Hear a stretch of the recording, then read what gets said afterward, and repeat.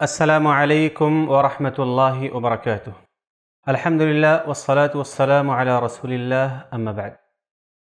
محترم مشاہدین، قربانی قریب ہے اور ایک مسلمان قربانی کے دن اللہ رب العالمین کو خوش کرنے کے لیے قربانی پیش کرتا ہے۔ قربانی کرنے والے کے لیے ضروری ہے کہ وہ چند باتوں کا خیال رکھے تاکہ اس کی قربانی اللہ کی بارگاہ میں قبول ہو۔ اللہ رب العالمین نے قربانی کو ایک عظیم عبادت کے طور پر پیش فرمایا اور نبی صلی اللہ علیہ وسلم کو اور آپ کے ذریعہ ساری امت کو اس کا حکم دیا۔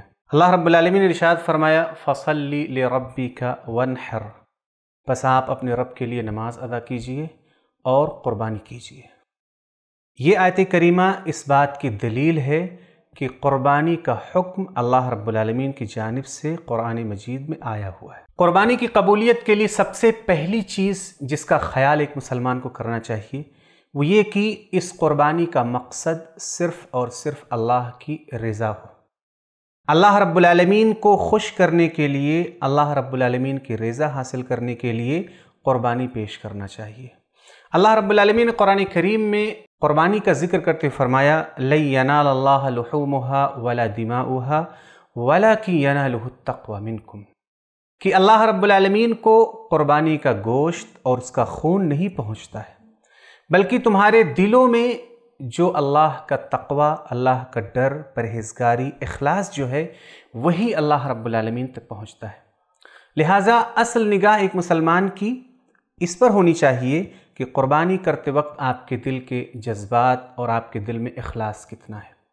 اللہ رب العالمین نے قرآن کریم میں ایک دوسرے مقام پر فرمایا، انما تقبل اللہ من المتقین، کہ اللہ رب العالمین ان لوگوں کی قربانیاں، صدقات اور عبادات قبول فرماتا ہے جو لوگ اللہ سے ڈرنے والے ہیں، پرہیزگار لوگ ہیں۔ لہٰذا پہلی چیز جو آپ کو دھیان میں رکھنا ہے، وہ یہ کہ آپ قربانی ریاکاری اور شہرت کے لیے نہیں لوگوں کے لیے نہیں بلکہ خالص اپنے رب کے لیے کریں۔ دوسری چیز اور دوسرا شرط یہ ہے کہ آپ کی قربانی کا بکرا، آپ کی قربانی کا جانور یہ پاکیزہ مال کے ذریعہ خریدا گیا ہو۔ نہ تو چوری کا ہو، نہ تو غصب کا ہو اور نہ ہی حرام پیسے سے خریدا گیا ہو۔ اگر حلال پیسے سے خریدا گیا ہے تو آپ کی قربانی انشاءاللہ اللہ رب العالمین قبول فرمائے گا۔ اللہ کے نبی صلی اللہ علیہ وسلم فرماتے ہیں، ان اللہ طیب ولا يقبل الا طیبہ۔ کہ بے شک اللہ رب العالمین پاک ہے اور صرف پاک چیزیں ہی قبول فرماتا ہے۔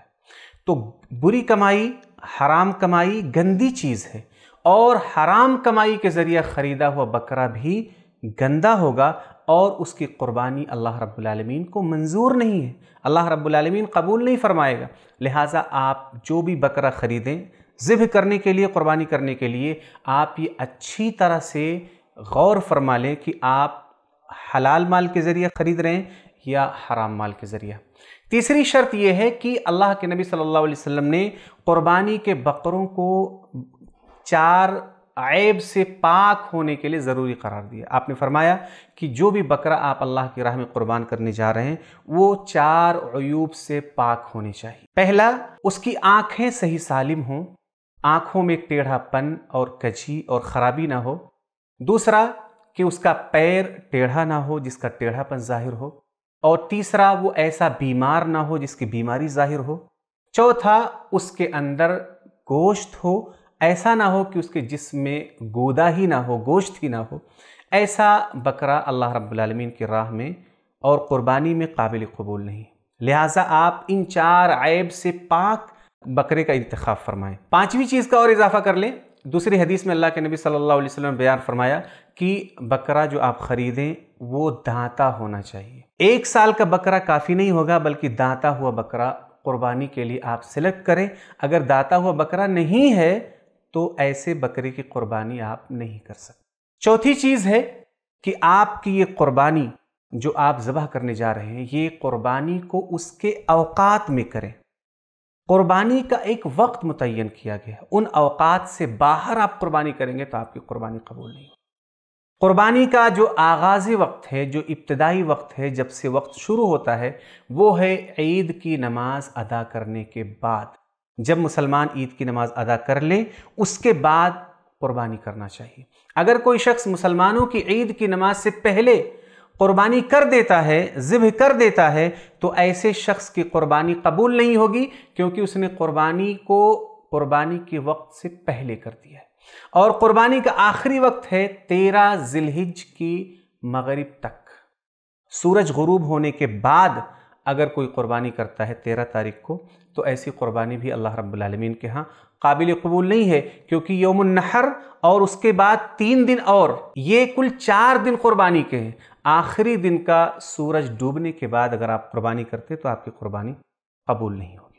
تو ان باتوں کا آپ خیال رکھیں۔ انشاءاللہ اللہ رب العالمین سے امید کرتے ہیں کہ اللہ رب العالمین آپ کی قربانی کو قبول فرمائے گا اور اللہ رب العالمین آپ کو عجر و ثواب دے گا۔ اللہ تعالی ہم سب کی قربانیوں کو قبول فرمائے۔ آمين السلام عليكم ورحمة الله وبركاته